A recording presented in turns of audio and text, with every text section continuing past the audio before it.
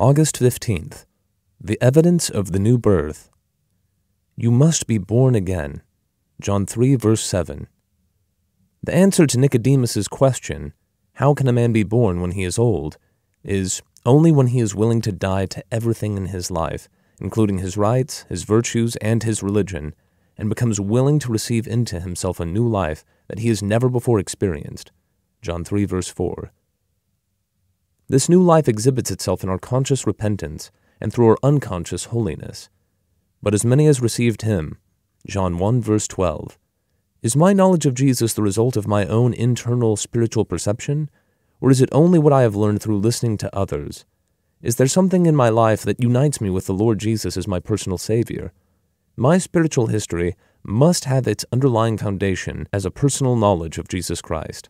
To be born again means my spiritual history must have as its underlying foundation a personal knowledge of Jesus Christ. To be born again means that I see Jesus. Unless one is born again, he cannot see the kingdom of God. John 3, verse 3. Am I seeking only for the evidence of God's kingdom, or am I actually recognizing his absolute sovereign control? The new birth gives me a new power of vision by which I begin to discern God's control.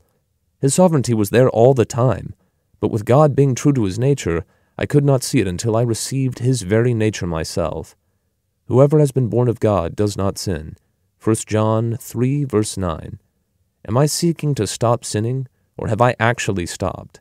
To be born of God means that I have his supernatural power to stop sinning.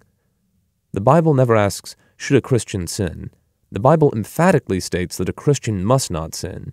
The work of the new birth is being effective in us when we do not commit sin. It is not merely that we have the power not to sin, but that we have actually stopped sinning.